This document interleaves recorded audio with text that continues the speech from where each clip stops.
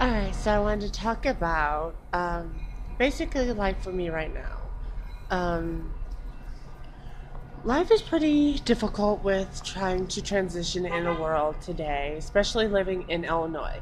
Illinois seems to be the most controversial, more, I don't think that's the word for it. I think more of the hicky part of the world because, well, maybe not, because there's a lot of areas that are just fucked up and Illinois is one of them.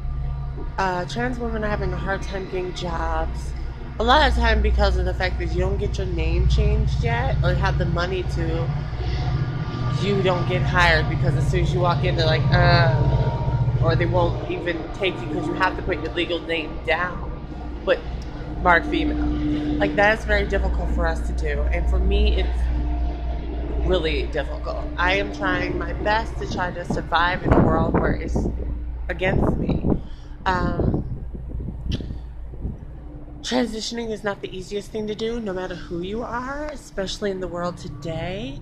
Well, honey, you're gonna have to have a strong backbone because this world is against you. But there's people that are out there there to support you, love you, take care of you, there's love. There's love everywhere. You just have to know where to look for it. And with the world today, especially for me, it it's keeping with those outlets, keeping with today's I guess standards of life because at this point you basically that's all you have and I am doing my best to survive in a world that basically had it out for me since the get-go. I mean that's not just me being a pessimistic because I'm usually I'm optimistic, but lately not so much. But um, just try and be strong. I have been dealing with some different things between a lot of people. Like there was there's guys that flag me on Tinder that you know say you're not a real woman, you're not this. It's like, honey, let me give you a little secret. Come here. I'm a hermaphrodite. Bite me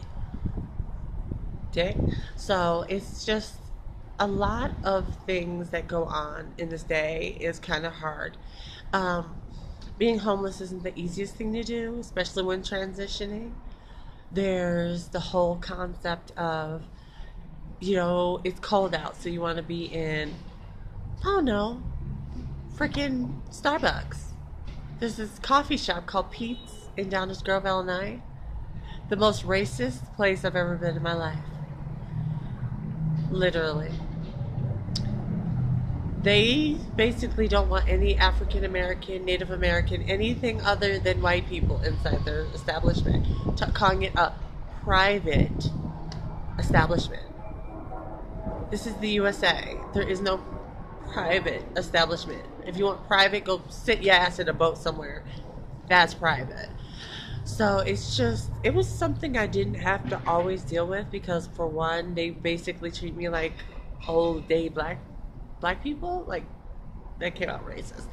Like, African American people back in slavery times. And what the messed up thing is, I'm not African American. I'm Native American. Not a lot of people know this because they look at like the rest of my skin, not my face. And I'm just like, you know that I'm in the sun all the time, so that's why I look the way I do.